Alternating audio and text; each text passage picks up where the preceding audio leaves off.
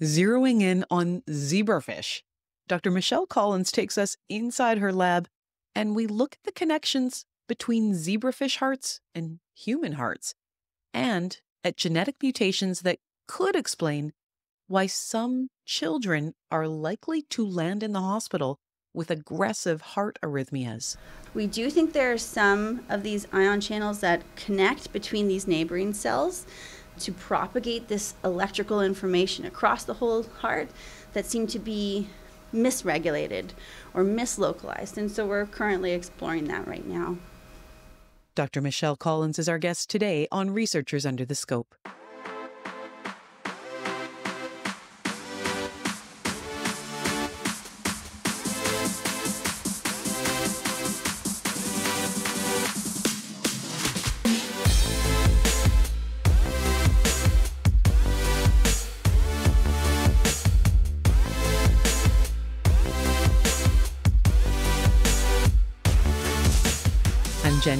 And today we are looking at the heart and what makes it tick in both small humans and in even smaller zebrafish. We're talking with Dr. Michelle Collins, an assistant professor in the University of Saskatchewan's Department of Anatomy, Physiology, and Pharmacology. Now, back in October, she offered to give me a tour of her lab. Hello, Hi, Michelle. Hi, Jen. All right, let's go in. Come on in. All right, and here we are in the microscope room. To me, this looks like okay. It's almost got like binoculars to look in. Yeah. It sits on this um, pretty fancy table, which is called an air table. This minimizes any sort of vibrations from the floor or from touching the table so that your samples stay immobilized on, on the stage here. Okay, and so what can we look at? So, I prepared some samples for us. So here what I've prepared for us is a little dish, and we've got two different zebrafish embryos in there. These guys are about five days old. Okay. Um, and you They're can so see tiny. they're These are tinier than like uh, the smallest earring I've ever had. Yeah, they're, they're- like little teeny tiny type tadpoles, half really. a centimeter. Yeah. Yeah, they're just I can just see them. Right. So what we can do is put them on the microscope, and we can take a look at what we have here. So our microscope has got this stage, and we put our samples in here. So are those little zebrafish are embedded in a gel or an agar agarose pad. This means that they're kind of immobilized, so we're not going to run into them.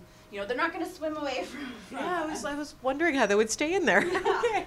And if they would be afraid of the microscope, I have so many Well, you questions know for you, zebrafish. they're actually pretty happy in there and they'll recover. So you can cut them out and they'll swim out and then they'll live happily ever after. And so next to the big microscope, there's a computer with a pretty big widescreen. This must be where we actually see the images that the microscope is producing. Exactly. A lot of what we, to use the microscope, actually, what you do is control a lot of it from this software here. So instead of fiddling with all of the, the parts that you see here, we, we actually do a lot of it from the computer. So I'm going to put this onto a live view here. It's black and white. It's uh, like a big, long portrait-sized rectangle on the screen, and it looks like is that the zebrafish is heart? the Zebrafish heart. So I'm just going to focus it up a little bit more so we can see what we're looking at a little bit more beautifully. There we go. Okay. So this is a zebrafish heart. So it's a little bit different from a human heart. You have just a single atrium and a single ventricle. So these are the two chambers. In humans, you have two atrium and two ventricles. Yeah, this looks a little bit more simple. Yeah, exactly. But you can see the blood cells. So these dark cells moving through are blood cells. Um, and you can see the heart pump. And this particular example, I hope you can see, see sometimes the heart pauses. Yeah. So it's not beating very rhythmically. So this is a mutant that we have that um, has cardiac arrhythmia, right? So the Oh, heart just really pauses. It, right? It pauses, and like you see the blood cells sort of fill up, fill up, and then they finally and get then they go. they need to go. Right on, yeah. So that's one of the phenotypes or traits that we study in the lab. One of the other really cool things about zebrafish is that they're great to use in drug screens. And so what you can do is take a disease model, treat it with drugs, and figure out what drugs could potentially be alleviating some of the phenotypes that the disease model shows. And that's one of the projects that we're working on. A couple of the students are currently interested in now is what can we add to this to try to diminish these uh, arrhythmic events? We do think there are some of these ion channels that connect between these neighboring cells to propagate this electrical information across the whole heart that seem to be misregulated or mislocalized. And so we're currently exploring that right now. And this is all happening in real time. This is this is this is the beating heart of the fish. So a zebrafish heart. So your heart, my heart beats around let's say 60 to 90 beats per minute and a mouse heart would be 300 to 500 beats per minute and a zebrafish heart is about 180 beats per minute. Okay. Um, you can see when it has this sort of stutter, or these pauses, that the heart rate slows down. Um, but yeah, this is. So let me take this guy to our next sample here. So this transgenic line in the vasculature, we wouldn't necessarily use for looking at heart function as much, but we have different ones that light up in the heart. And I'm actually, if I go back up here, I could switch. This, this is so cool because inside the zebrafish there are these little white powders. Oh, look, So what's now- it's like a little volcano. Yeah, so this is a transgenic line. Again, this is just the same fish, but now it carries a second transgene that's expressed in the heart. So in the movie we saw before, this was just bright light, just regular white light. Now we can see, so here's the atrium and the ventricle, and this transgene is um, localized specifically to the muscle. So you see these muscle fibers contract as the heart pumps and relax. So this kind of a transgenic line we would look at in our mutants, and we would ask, okay, how does the cardiac muscle look like? Um, how is the organization of these cells? Is there any morphological changes? So structurally, do they look different? Um, and then our different biosensors we can use to measure how calcium is actually moving in and out of the cells. This zebrafish you said is five days old. Yeah. So how does that change over the lifespan of a That's zebrafish? great question. That's a great question. Yeah. So, um, in the model that we have, we start to see some early changes in the developing heart that just get worse as the fish ages. And so we have fish that are, you know, a year and a half old. They look pretty good. But then, if you do things like an echocardiography on them or an, uh, an ECG, um, you start to see that the heart chambers aren't really contracting properly. They're very arrhythmic, um, and they really model what a person that has something like atrial fibrillation would be experiencing later on in life. Dr. Collins then showed me where the zebrafish live. So we're going to head down another set of elevators to the basement, the lab animal services unit, and this is where our zebrafish are housed. Right, so there's a number of different um, animal models that are housed here uh, that our researchers across the health sciences department or the health sciences building will use. It almost looks like storage lockers. You should come on the weekend when there's no lights and it's just a red uh, glowing light. Much creepier. Are the have. So this is a bit of a louder room. These are a lot of the fish tanks that we have that house the fish that we use for our different research. And you can see this is what the adult zebrafish look like. Um, quite a bit larger. They have the, you know, the zebra stripes on their side. We also have some of these lines that you can see here. So these guys are white. They're actually transparent. Um, they're called this Casper, like the friendly ghost. a lot of biologists have a really good sense of humor. Um, so these Casper fish are really cool because the skin is transparent, so we can actually look at a lot of organs easily because they lack pigment in the adult form. Yeah. So Casper is useful to look for. Exactly. you can look through them. This is an example of a breeding tank. So you've got two parts here. You've got this inside insert with these With like a ridge- strainer at the bottom. Yeah, exactly. And then it sits inside. And so this is a, a male here. So I can tell he's a male because he's a bit reddish in color and his body's a bit more flat. And we would set him up with a female. In the morning when the lights come on, the, they would lay embryos.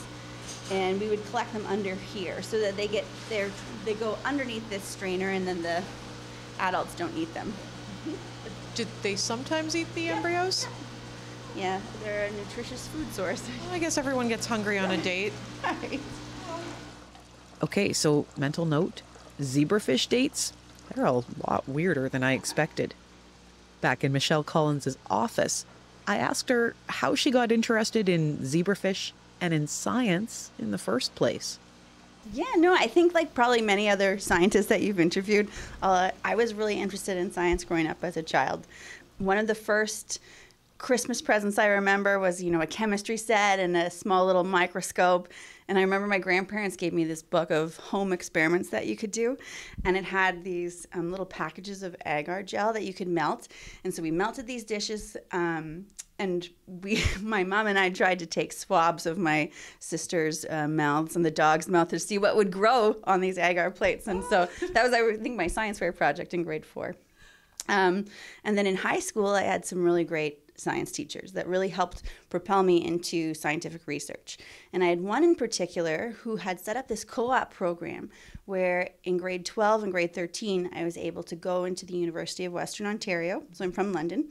Um, and so at the university, I worked in the lab of Dr. John Trevithick, and he was in the biochemistry department. And that's where I got my first taste of, of lab research. And I ended up staying in that lab for the four years of my undergrad as well as a, as a volunteer. So yeah. what were you doing in there? It was so the first projects that I did took, tested the antioxidant activity of different herbal remedies. And so we would take these compounds up, grind them up, and we would I learned how to pipette and design controls and all of this stuff. And then the other projects looked at the antioxidant activity of beer and wine. But I was underage at the time, so I wasn't actually able to handle those samples. Oh my god! so I could just enter the data in the computer. But it, it was a, definitely a a good experience. Oh, oh, wait, wait, are there antioxidants there are, in yeah. wine? I mean, I'm pretty sure that study was sponsored by Labatt, but there's definitely, especially stouts and, and like Guinness, have a lot more antioxidant activity. Red wine also all right. Yeah. So, okay. Yeah. Go ahead there. but from there, what was it that pushed you through even to, to grad studies and then to postdoc work? Yeah.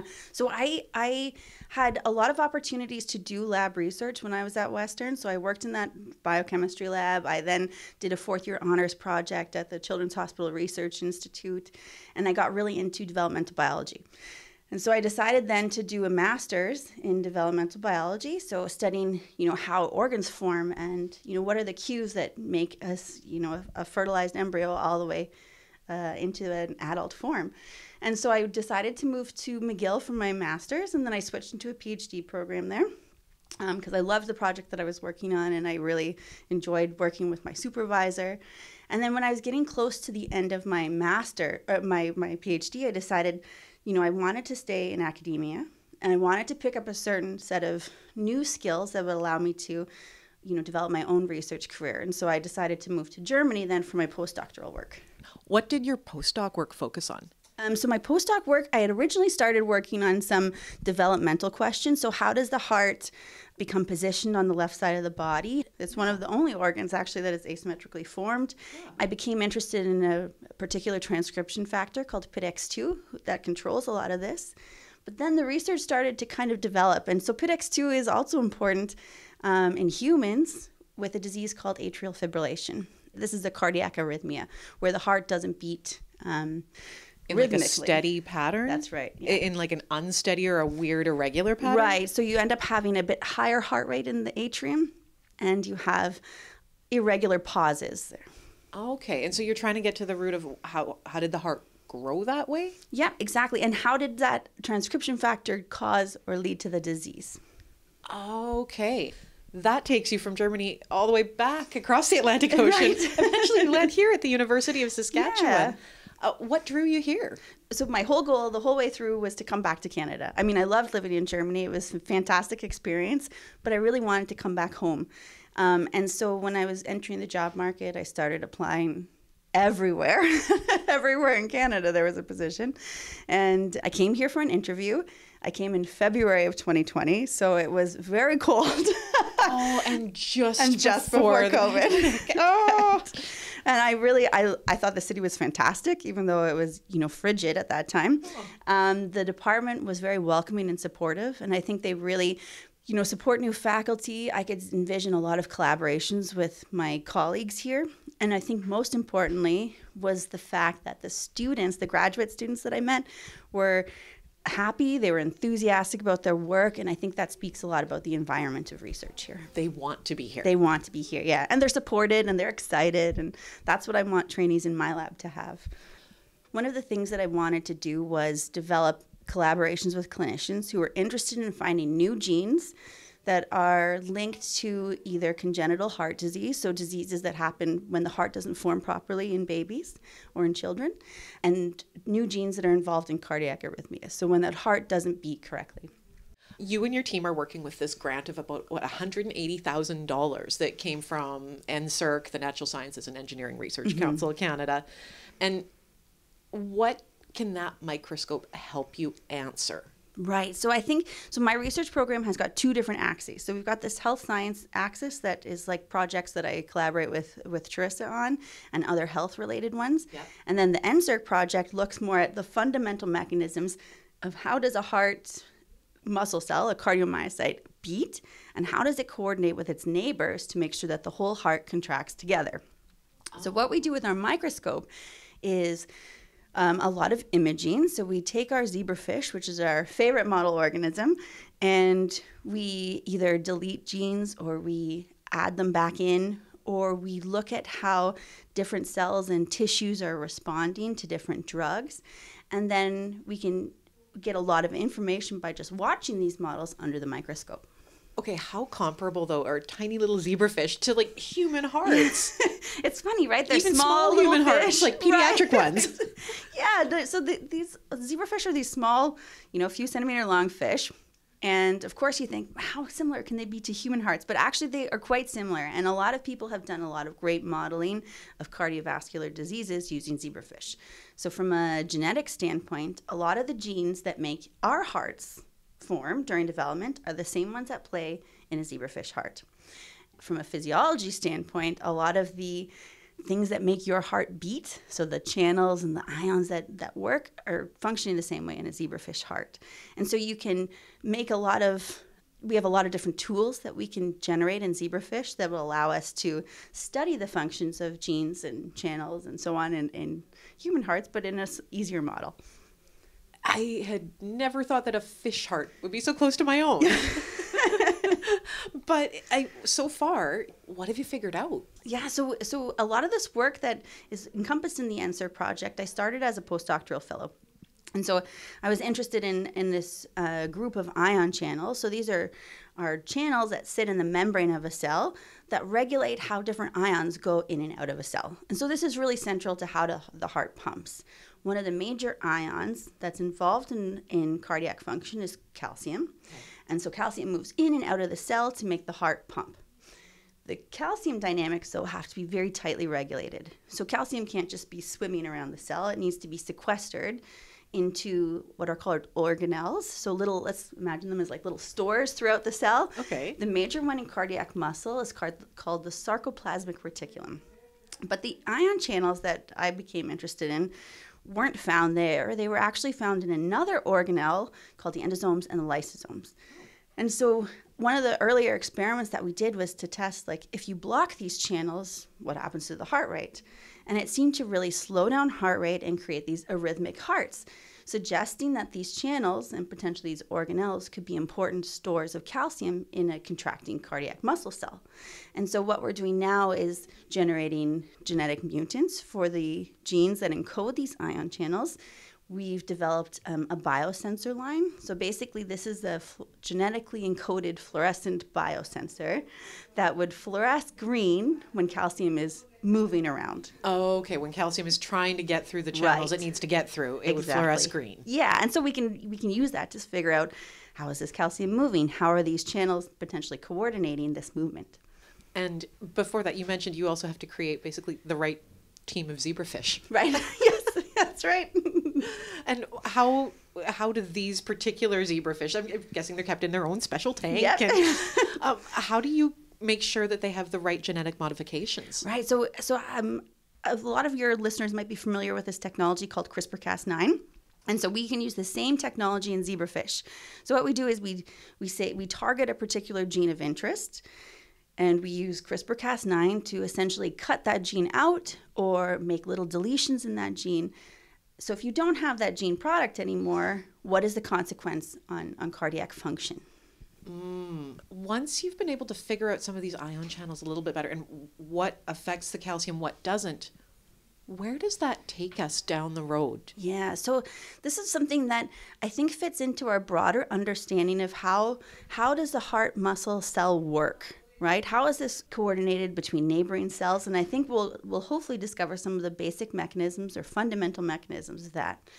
It would be really cool to then tie this back to the health science aspect of my research program, right?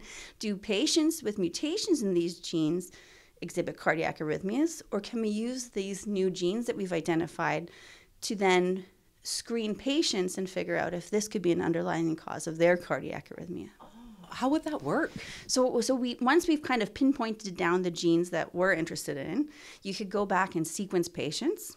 There's also a number of uh, genetic databases that you can look at to try to figure out if there are mutations that are picked up in other patient populations. Uh, okay, so the seeing the same thing but replicated. Right.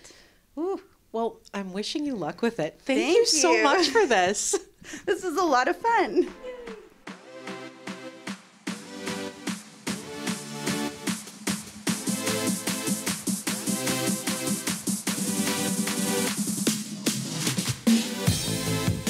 Dr. Michelle Collins is an assistant professor of anatomy, physiology, and pharmacology at the University of Saskatchewan's College of Medicine. To see more of her work, go to medicine.usask.ca. Researchers Under the Scope is a presentation of the Office of the Vice Dean of Research at the U of S College of Medicine. We record and produce this podcast on Treaty 6 territory, and we pay our respect to the Metis and First Nations ancestors of this place. We reaffirm our relationship with one another, and we'd sure like to thank you for tuning in. I'm Jen Cannell, and we release a new episode of Researchers Under the Scope every two weeks. Find those three little dots in the corner and hit follow so you can stay up to date.